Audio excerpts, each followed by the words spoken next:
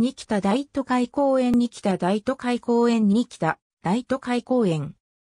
後ろに第64線の高速道路と群れ光電子本社ビルが見える地図に北大都会公園は、二北市の三重区、新庄区、五国、アシス区にまたがる公園である。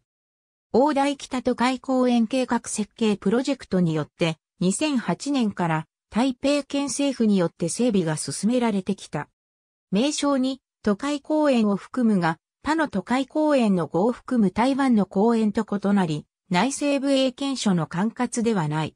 以前は、大台北都会公園の名称であり、台北市に存在すると誤解されやすかったため、2019年8月に解消された。英語名には元からニュー台北を含んでおり、ニキタの名前がついている。台北盆地のちょうど中心部に位置し、緑あふれる空間となっている。面積は424ヘクタールであり、これはニューヨークのセントラルパークの1.25倍の大きさである。河川増水時に水を逃がすための放水路、二重所、坑道が公園の中心を流れており、全長 7.7km、幅450から750メートルである。大都会公園は南北にかけて7つのゾーンに分かれている。